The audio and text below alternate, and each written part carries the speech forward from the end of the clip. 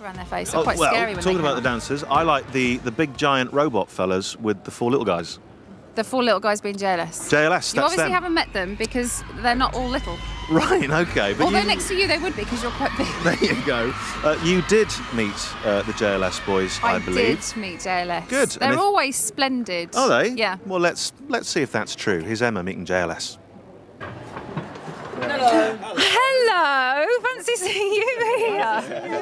I feel like I'm stalking you. You Well, can't get away from me. can we say fresh off stage, amazing performance, amazing reception. We had fun. You've just t- stole my lines. I was about to say you're fresh off the stage, another oh. amazing performance. We're so vibing right now. That's you. it. It's just there. It's there. Um, it was great actually. I love the robots. Thank you. Good. They're really good. What I want to know is though, there was only three of them. So which one of you didn't deserve their own robot?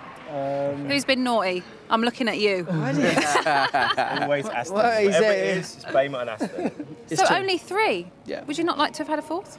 No, because then it would have been odd on stage because there's four of us and they all stood in the middle.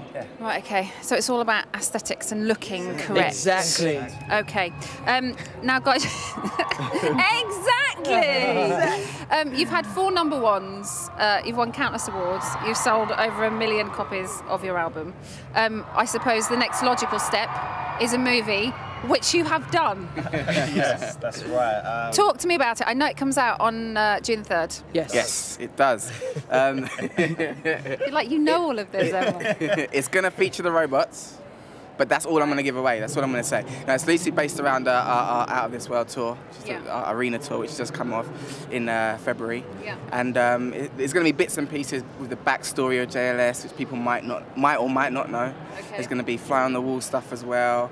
And um, yeah, obviously we're very, very proud to be putting out our first movie.